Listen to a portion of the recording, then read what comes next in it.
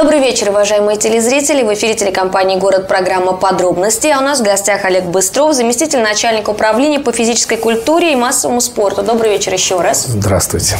Давайте мы начнем с того, какие зимние забавы уже есть для рязанцев и что ожидает. В частности, конечно, всех интересует, когда можно достать коньки. Но, к сожалению, погода рассчитывать на то, что в скором времени мы достанем катки и будем массово кататься, она нам не позволяет. Традиционно у нас проходит много спортивных мероприятий в предновогодние праздники и в каникулы новогодние. Все соревнования и все мероприятия направлены именно на массового посетителя, на массовое спортивное катание.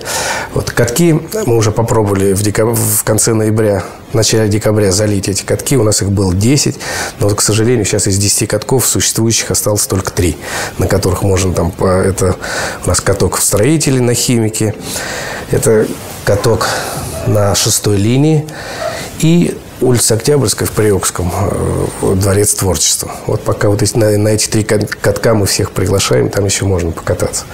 Как только погода позволит, мы порядка 30 катков по городу Рязани, во всех районах, во всех кварталах, там, где есть у нас катки, э, катки, хоккейные коробки, мы их постараемся залить и милости бросим всех наших жителей города Рязани. А меняются вообще тенденции в этом смысле? Может быть, люди постарше, сейчас модно со всей семьей ходить? Это мода вести здоровый образ жизни, она сейчас отслеживается. У нас много появилось и очень юных спортсменов, которые занимаются различными видами спорта, и в том числе и зимними видами спорта.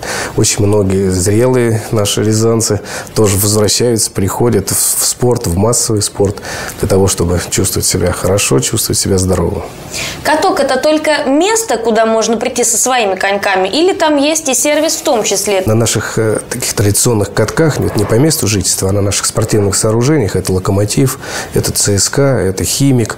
Там э, на тот момент, когда будет готов каток, если он зальется и будет действующим, то там предлагается и прокат коньков, и можете все, все подобрать любой размер всех ожиданий возраста. долгих праздников, длительных выходных, хочется себя чем-то занять. И, собственно, после того, как отпраздновали уже новогоднюю ночь, самое время подумать о здоровом образе жизни.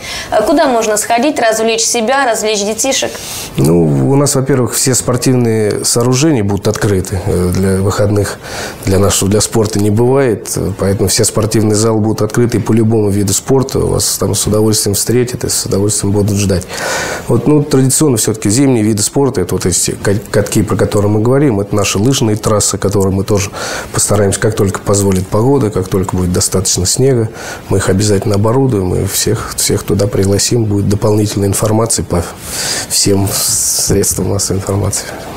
Недавно прошел чемпионат мира в Париже по джиу-джитсу. Расскажите немножко. 1 декабря в Париже проходил чемпионат мира по джиу-джитсу. Для нас э, результаты по джиу-джитсу уже стали традиционными. У нас два заслуженных мастера спорта в городе Рязани за 10 лет работы федерации. Но выступление в этом году было, так, ну, можно назвать его смело триумфальным. Потому что у нас впервые пять человек, пять наших спортсменов, рязанцев стали чемпионами мира. А в личном первенстве это был Евгений Мальцев, весовой категории 56 килограмм. И четверо спортсменов у нас входили в команду, а, и команда э, России стала первой на этом чемпионате. Тоже, тоже впервые стала первой. Там у нас был Владимир Блохин, там был Николай Куценко, Илья Чаркин и Михаил Смирнов. Какими еще спортивными событиями запомнился уходящий год? Традиционно сильным в единоборствах у нас э, сейчас успешно отбираются на Олимпийские игры два наших дзюдоиста, даже три, но два э, очень реальные. Это Михаил Пуляев и Иван Нифонтов. Их рейтинг очень высокий, мировой, и, скорее всего, ну, они очень близки к тому, чтобы участвовать на, на, на следующей Олимпиаде. Также у нас еще два спортсмена. Это Андрей Волков и Валий Куржев. Тоже являются кандидатами в Олимпийскую сборную по дзюдо. Ну, и традиционно успешно выступают наши гребцы, наши лыжники, которые у нас на параллельном зачете. Ну и мы, вообще э, порядка 20 спортсменов может реально претендовать на участие в Олимпийских играх спорта. Ну, это если о спортсменах. А если обо всех остальных? Вот, например, в Европе там модно бегать по утрам, делать зарядку. Ну, естественно, люди себя до какого-то состояния уже довели, когда уже нужно делать зарядку по утрам. А как популяризировать все виды спорта? Чтобы популяризировать все виды спорта, правильно вы говорите, э, за рубежом именно идут от массовости. Все занимают в меру сил, занимаются в меру своих способностей, занимаются. Чем больше мы двигаемся, тем мы больше здоровы. У нас 15 наших городских спортивных учреждений. В каждой школе продуманы услуги для населения. Это как то группы здоровья, которых все, все приглашают. И практически сейчас э, ну, весь возраст в наших спортивных учреждениях, все возраста задействованы. От самых маленьких есть программы с 5 лет, и в том числе и по единоборствам, и по любым игровым видам спорта. С 5 лет, и люди в группы здоровья могут тренироваться абсолютно без ограничений. Заниматься можно чем угодно, в любом возрасте, и это будет для здоровья будет только польза. Хочется у вас спросить, мы готовы к ГТО? Я думаю, что мы готовы к ГТО, потому что мы много, большая категория наших людей еще застала то, то ГТО, в котором мы все участвовали, поэтому я думаю, традиции, они еще не пропали окончательно. Единственное, вот те требования, которые будут выдвигаться, там, наличие спортивных сооружений, вот, может быть, только вот исходя из финансовой ситуации, могут быть только в этом какие-то проблемы. А так, я думаю, по духу мы сильны, и будем и успешно участвовать и в ГТО, и, в общем-то, здоровая нация – это основа высоких результатов. И хочется спросить о планах. Я думаю, что они уже есть. У нас очень богатая новогодняя программа. У нас спланированы и мероприятия для детей, и мероприятия для взрослых. Очень вот об этом поподробнее. Прямо конкретно. Ну, где, если вот когда? в области спорта, во Дворце детского творчества у нас пройдет традиционная елка новогодняя, где мы будем подводить итоги и награждать юных спортсменов наших.